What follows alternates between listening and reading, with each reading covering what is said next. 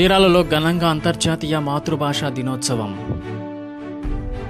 కాంగ్రెస్ ఆధ్వర్యంలో ప్రత్యేక హోదా ఉద్యమ కరపత్రం ఆవిష్కరణ. కర్నూలు హైకోర్టు బెంచ్లో ప్రకాశంను కలపడానికి నిరసనగా న్యాయవాదుల ధర్నా.